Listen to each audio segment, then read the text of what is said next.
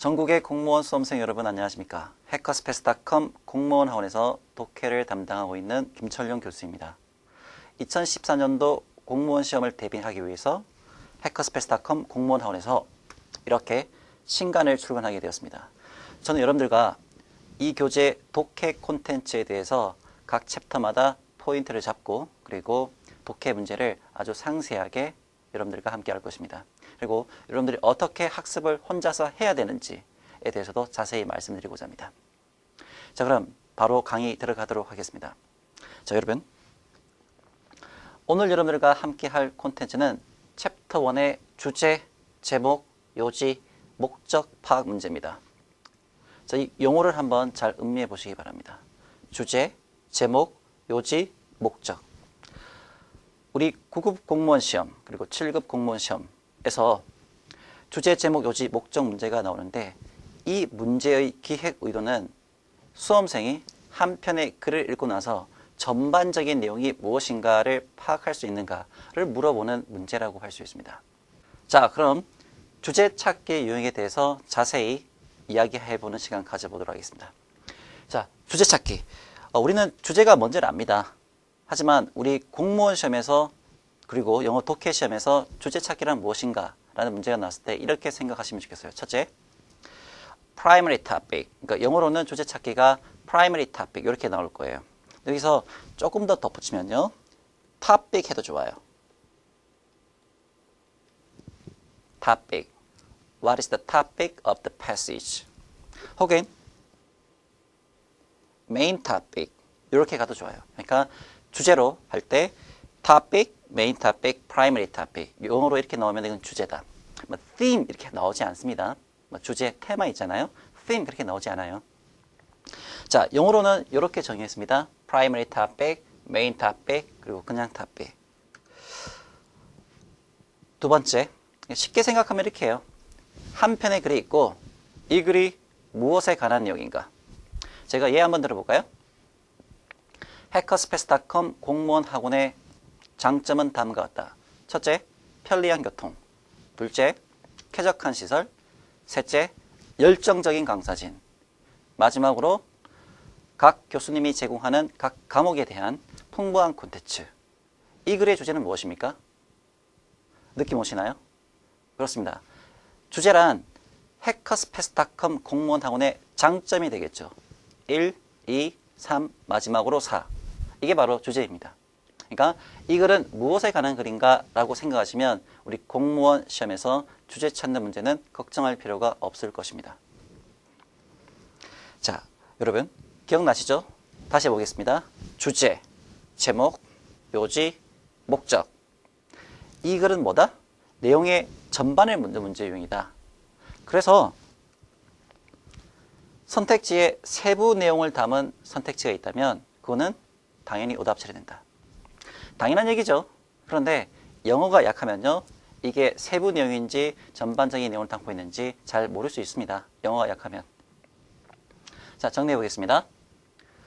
오늘 여러분들과 함께 할 주제 찾기 유형.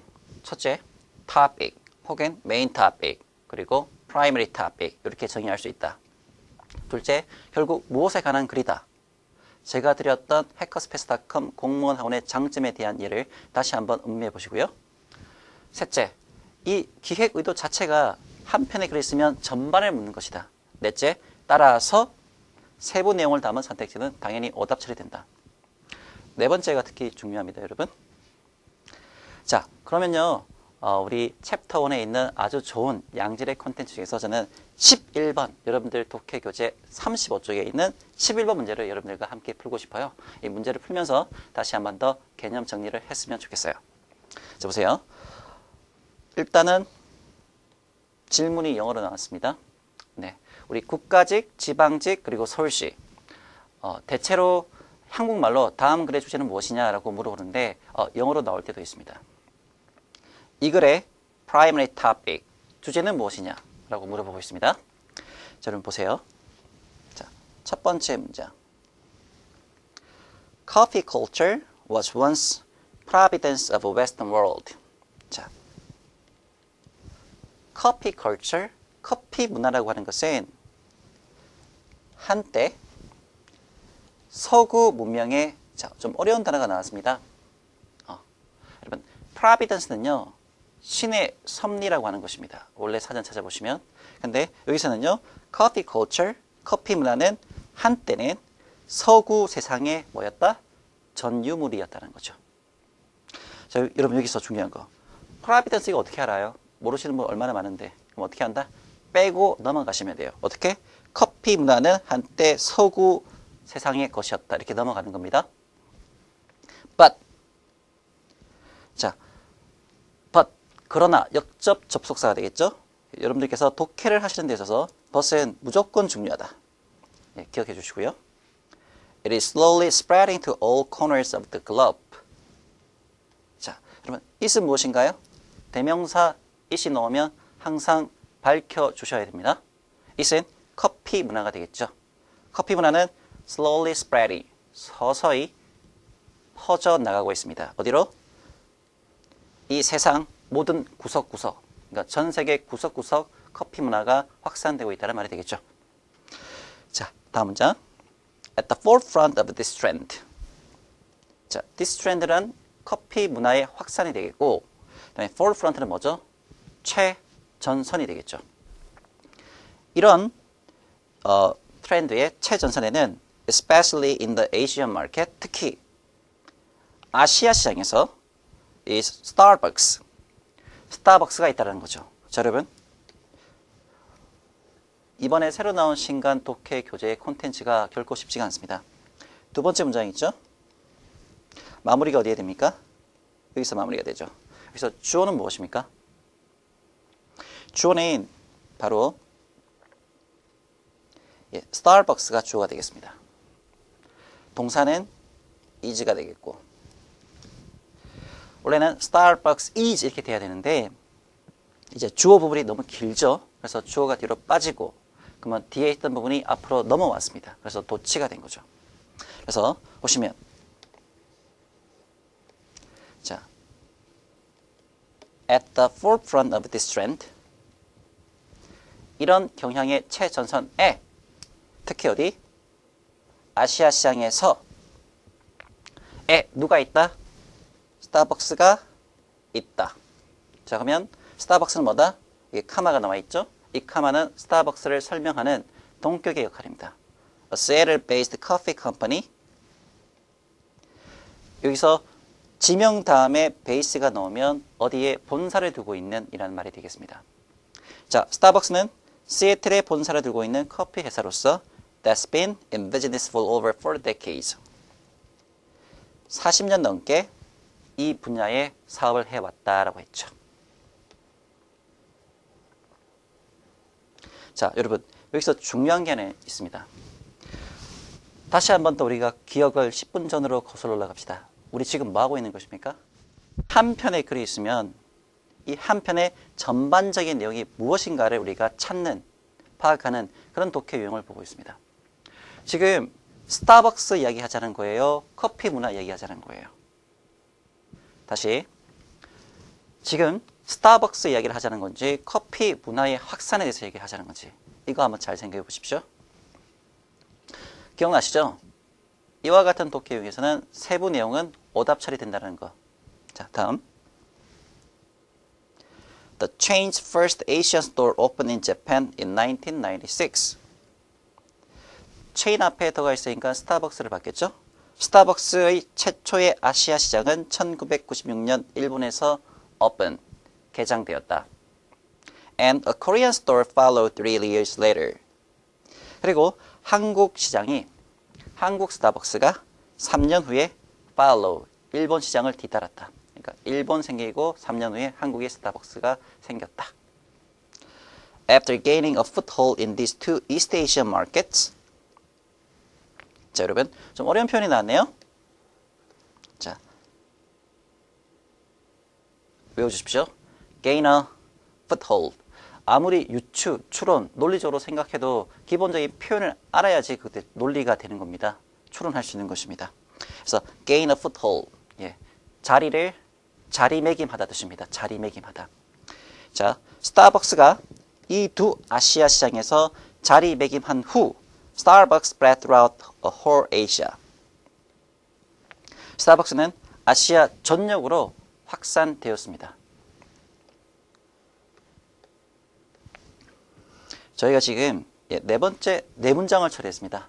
다시 한번 여쭤볼게요. 이 글은 스타벅스에 관한 이야기인지 아니면은 커피 문화의 확산에 대해서 얘기하자는 건지 다시 한번 여쭤봅니다. 자, 다섯 번째 문장. In fact, Starbucks intends to have 1,500 coffee shops in China alone by the end of 2015. In fact, 실제로 스타벅스는요, 중국 언론에서만 1,500개의 커피 매장을 have, 가질 의도입니다. 언제까지? 2015년 말까지. 일본, 한국, 중국으로 이어지고 있습니다. 확산되고 있네요.